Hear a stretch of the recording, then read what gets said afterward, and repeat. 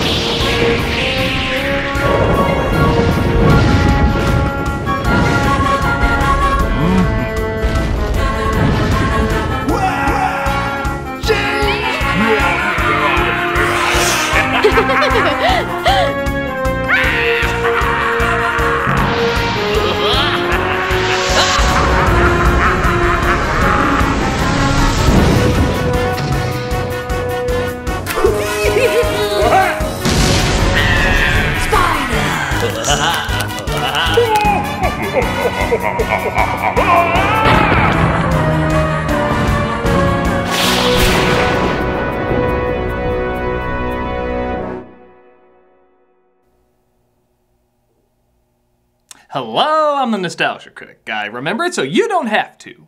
When I first reviewed Alien vs. Predator, I said the whole film was kinda like a battle between your jock side and your intellectual side. Well, thankfully, with the sequel, you don't have to worry about that because everybody loses.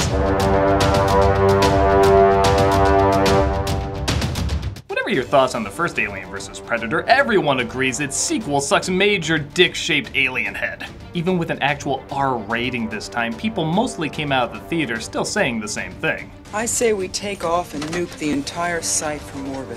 It missed with fans, it missed with critics, so what is it about this film that pissed everyone off so much? Well, getting directors who worked on Nickelback videos sure wasn't a great start. Run! Get to the chopper! And it also led to a quick end, with the film costing close to 130 million to make and turning in only 40 million dollars in ticket sales. So let's see how it became game over, man, for this franchise. This is Alien vs. Predator Requiem. I'd be lying if I said there wasn't a part of me that loved mixing both the Alien and Predator style credits. And even the intro isn't bad when the alien from the last film bursts out of the same Predator, causing their ship to crash land back on Earth. Be very, very quiet. I'm hunting clever girls. It looks like a couple of facehuggers attack both the hunter and the kid. Again, not a bad start. I dare even say it's kinda badass. But the film gets pretty standard and lame quick when it cuts to a nearby suburban town. Gotta wear the hat. The only reason you make us wear a hat is because some manager made you wear a hat when you were drunk. Make the run, or you're fired. And wear the hat. Ah, it already feels like an Alien vs. Predator movie. Pizza Hat. Classic. It looks like our main character Ricky didn't want to make the delivery because a girl he likes named Jessie happens to live there and happens to have a jackass boyfriend with some jackass other friends. Cute outfit, Ricky. Yeah, as in Halloween in October. Yeah, people with jobs make me sick. That's why I'm gonna flex my pecs until they explode. What the hell am I doing? She pays for the pizza, but it looks like seizure packs isn't done yet. Find him in 30 minutes or less, asshole. Is it really worth going that insane for this insult? Because now I know who ordered the sausage lovers. Seems kind of like an overreaction. Maybe these guys are like, You leave our friend's sexual discoveries to his own pacing! What are you guys talking about? Come on, man. We know you're so deep in the closet you're naming the coat hangers. Hey, I'm not gay! Shh. Let's go watch some cooking show. Okay, that sounds great. I love Jesse just standing there like, Let's go. Well, he said let's go. I'm powerless to thwart his logic. Alien versus Predator, folks, we're sorry. The sheriff shows up to check out the crashed ship where it has, even by this film's standards, a pretty shitty fake out. Well, yeah, what else do you think we would see there? The alien driving a car? Do you have any Grey Poupon that is literally gray? Kindly smear it on yourself and await my instructions. We next cut to a soldier returning home from the army as her kid is so happy she's home after so long she immediately asks what she got for her. Are these for me? You don't like them? Kidding me? These are so cool. Ellen, I guess I miss you after being away for so long. Can this play Arena of Valor? Meanwhile, one of the predators lands on Earth to locate the ship and very slowly figures out what happened. You'd think this be boring and uninteresting, but you're wrong. It's really boring and uninteresting.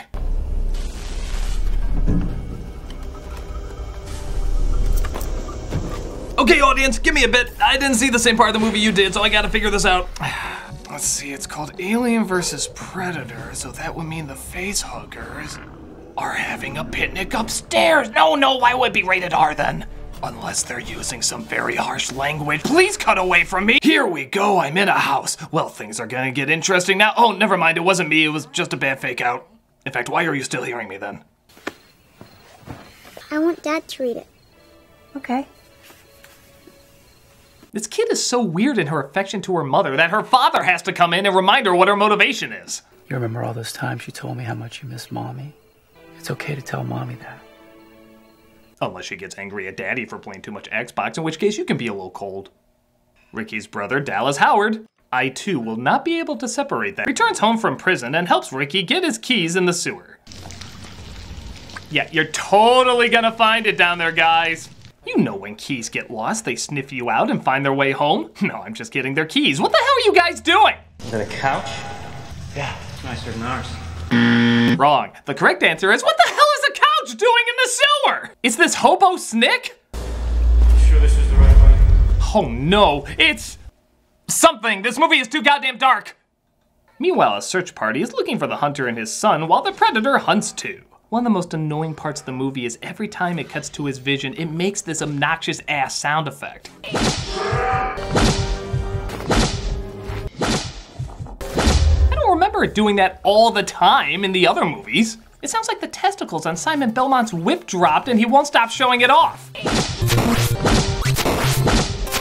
Are you sure this is necessary? Meanwhile, Ricky's brother continues to look for work.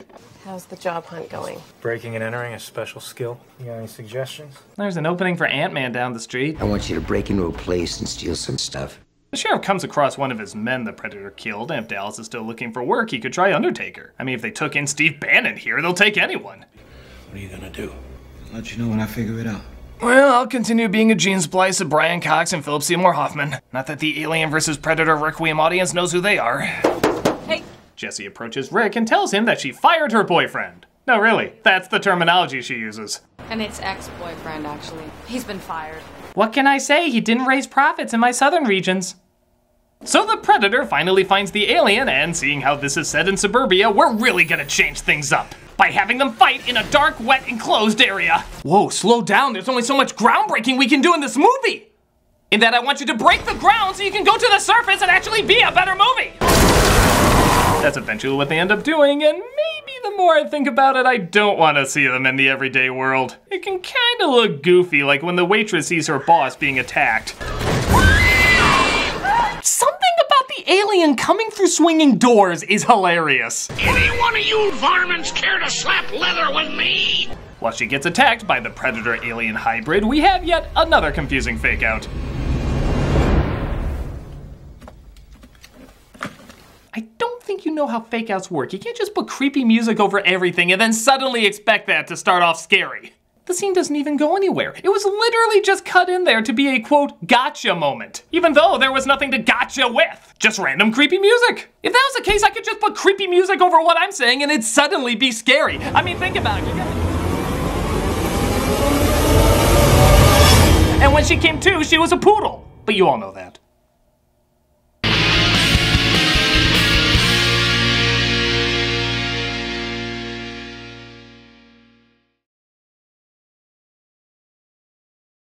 Hi guys, I'm Chaplin, Doug's new kitty. Have you heard about this mouse on a string? God, I love this mouse on a string. Until I get bored by it. I'm a little bored by the mouse on the string. Now I'm back to it. Mouses on strings are great. And did you know that you can see Doug and the rest of the gang at Grand Rapids Comic Con? It's November 9th to the 11th. It'll be my owner, Doug. What a great guy. His brother, Rob. What a great guy. Malcolm Ray, great guy. Tamara Chambers, great guy. And Jim J. Rod, coincidentally, also a great guy. There's a lot of other great guests there, so we hope you check them out. Me, I'm gonna go ruin Doug's couch. What a great couch. Oh, that wasn't supposed to happen. Isn't that great? I'm just gonna sniff this for a while. I love sniffing this for a while. Oh, that one fell too, but I'm just gonna keep sniffing this one for a while.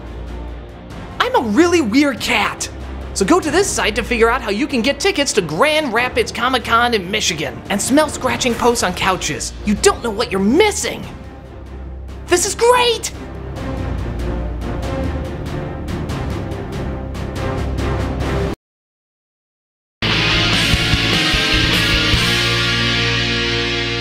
So the sheriff tells Dallas not only about the dead cop he found peel like a banana, but how he also can't find the hunter and the kid. Well, maybe if you follow that loud crashing spaceship that a ton of people must have noticed, including the hunter and kid. And was NASA goddamn asleep when this thing crashed? How did nobody notice this thing? You want some help? I don't know, Dallas. Come on. I'll ride in the back. Boy, he sure is trusting to a guy who is an ex-con. I dare even say, him being an ex-con has absolutely no impact on the story whatsoever. So it kinda makes everything even more puzzling. Come on. I'll ride in the back. Okay, but try and steal my keys again and ah, you know I'll do nothing.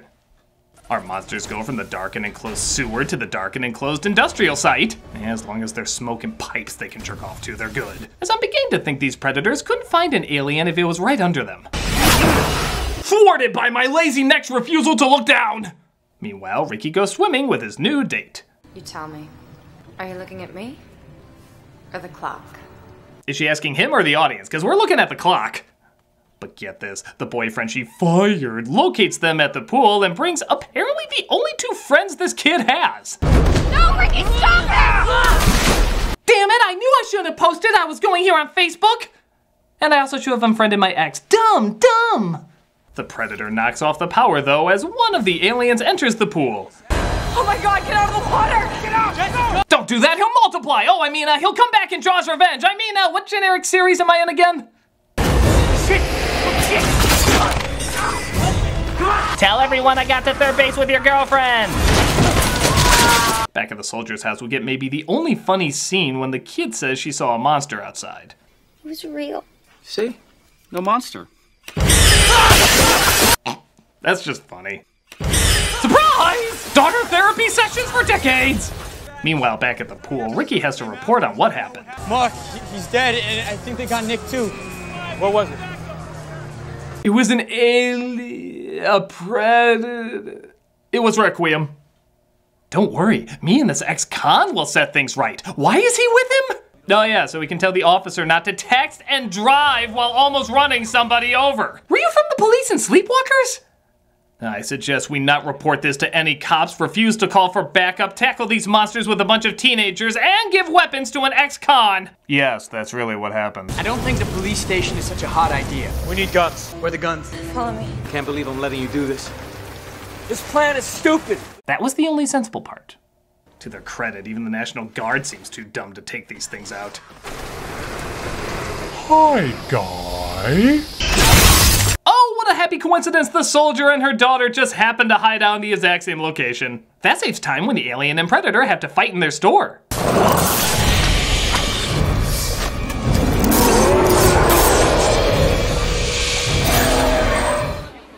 Well, we're waiting. Yeah, stop looking at each other and actually do something! On screen! That's really it? We had a whole storm of crazy shit they could have utilized and all we got was a window crashing? Who directed this? Gareth Edwards? Well, that's happening. The aliens sneak into a hospital, or as they call it, an all-you-can-eat buffet. Oh, yeah, I'm sure Alien vs. Predator 2 is gonna show mass baby slaughter. This is the one with the most street cred to do that. Knowing how bad this series get, they're probably just setting up a warped version of this. To their sick, disturbed credit, though, the Alien Predator hybrid seems to find a pregnant woman and sci-fi's the shit out of her.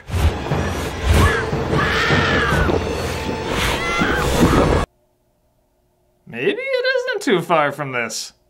They call the National Guard, who tell them there's an airlift in the middle of town. Thank God the soldier just happened to be trained in driving tanks. You're welcome. But she smells a big dirty rat. I think the colonel was lying. That's crazy. The government doesn't lie to people. That line is so sad the movie didn't even need to give a punchline for it.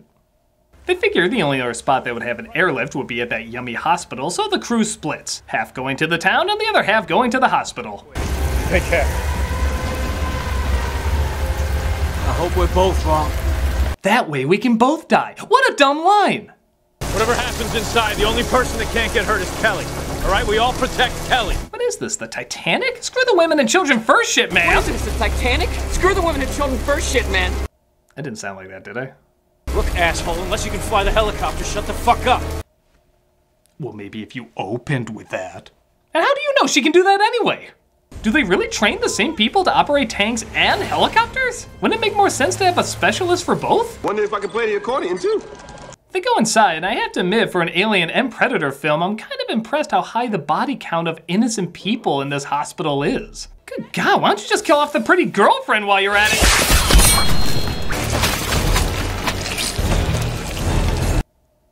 That just came out of nowhere! Those babies are dead, aren't they? You are that goddamn crazy! In the last 10 minutes, why did we wait an hour 20 for this? Even then, most of the climax is just watching them run away to get to the helicopter. Oh god, don't say it. Get to the chopper! You're dead to me, movie! As dead as those babies you probably killed. Don't people bring their dates to this? So it's finally Predator versus Predator Alien. You know, in the background. Even when you do see it, it's so shaky and unappealingly green, it's like it was directed by David Fincher in a blender. Oh, just make out already. You know that's what we're all here to see. But at least the airlift has arrived for those people that went into town. Ha ha! The helicopter, of course, outruns the explosion as they come across other military hiding in the forest.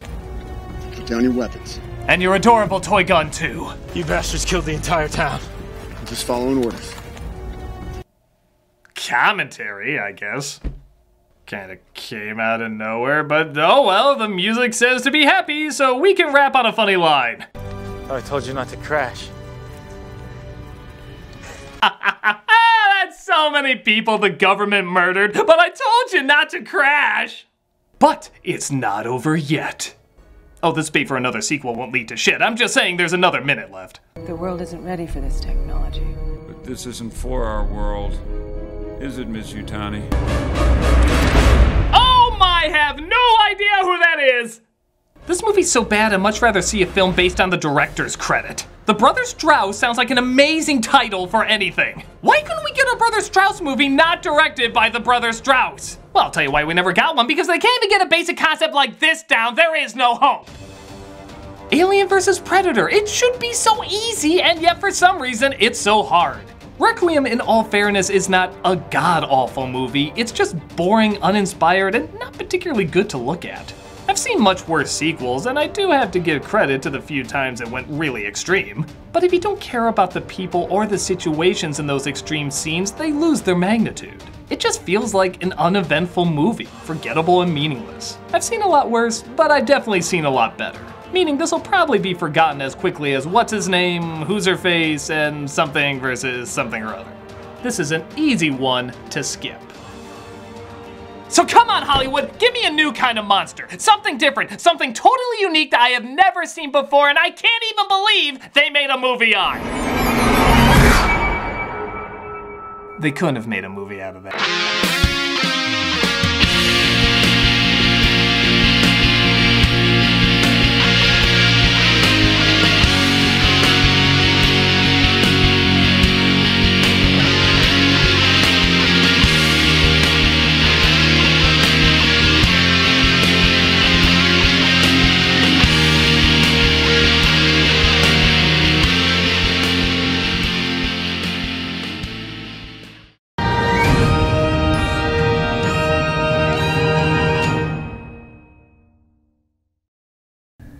Everybody, so I got a kitty. His name is Chaplin, and uh, he's super nice and social and cute. And he's a little tired this morning, so he's not doing much, but uh, eh, I guess that's part of being a cat. Uh, what I was getting to is that I, uh, because we were getting used to having a cat, I've never had a pet before, uh, we didn't get a chance to do a charity shout out this week, so I'm just going to do where we got him, which is one we've done before. It's called Save a Pet. It's a wonderful place. Uh, we did a What You Can Do video on it as well, so if you want to volunteer there, you definitely can.